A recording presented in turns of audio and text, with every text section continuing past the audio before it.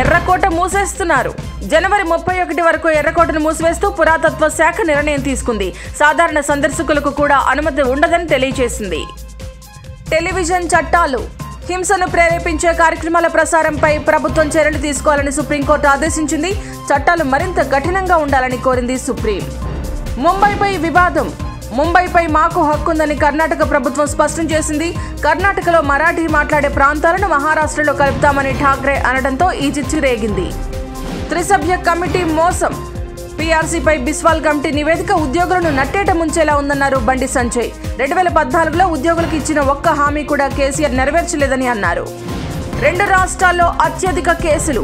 దేశం మొత్తం కోవిడ్ కేసుల్లో అరవై ఏడు శాతం కేరళ మహారాష్ట్రలో ఉన్నాయని కేంద్రం తెలిపింది. దేశంలో రోజువారీ మరణాలు నూట ఇరవై ఐదు కంటే తక్కువ ఉన్నాయని తెలిపింది. పార్లమెంట్ క్యాంటీన్లో కొత్త ధరలు.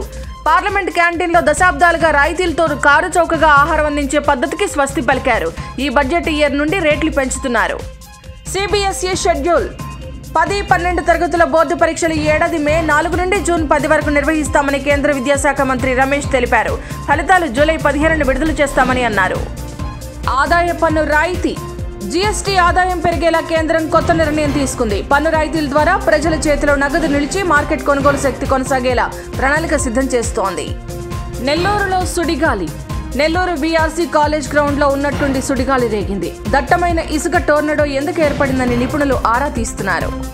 కొబ్బరి మద్దతు ధర పెంపు. మిల్లింగ్ కొబ్బరి కనీస మద్దతు ధర పెంచుతూ కేంద్ర మంత్రివర్గం నిర్ణయం తీసుకుంది. క్వింటాల్కు మూడు వందల డెబ్బై ఐదు పెంచింది.